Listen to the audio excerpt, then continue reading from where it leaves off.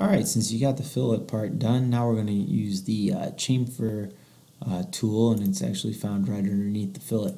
But we're going to use this same design. So we are going to um, get rid of the fillets. So you're going to need your viewfinder up. If you do not have it up, you need to go to View, User Interface, and then make sure that your um, browser right here is turned on. You, you need that to get the work done.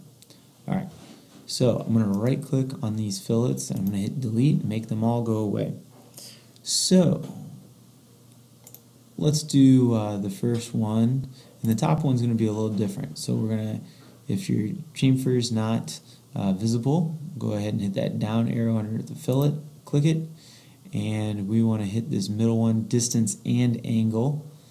Okay, so we want our distance to be actually 0.12, so that's right, and the angle to be 45 degrees. So we're good here, so we click the top, we click this front side, and then we uh, click the green check mark, so we're good there.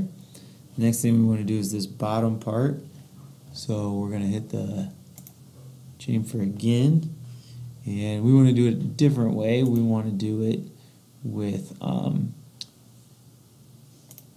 the um, two distances. So here we go. This bottom one right here is two distances.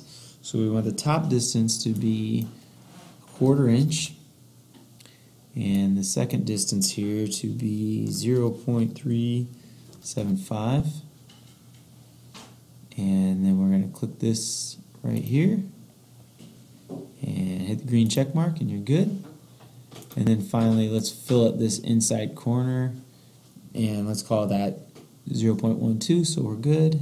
Click it, hit there, we're all done. I'm going to change this. I'm to make this one green. Use the clear one. Highlight it all.